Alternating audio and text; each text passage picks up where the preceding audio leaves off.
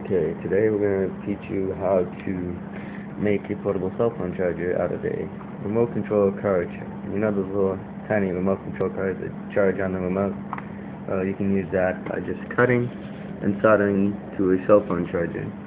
And as you can see, my cell phone is on dead. so I guess I should show you. Well, this is really easy to make. It only takes three double A's a little bit of solder to put the wires together, which I didn't, don't even have a soldering gun. I just melted the solder with a lighter. And when that little light comes on, you can tell it's working. And look. Now you can see it's charging. Promise this is not a lie. It's just, look, no cables hooked up. Take the batteries out. Light goes off. See? That simple.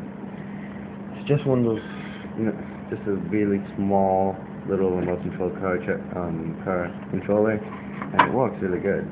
So, yeah, I'm not sure how long it lasts because I just made it, but go ahead and try to make them yourself. Tell me what you think. See you later.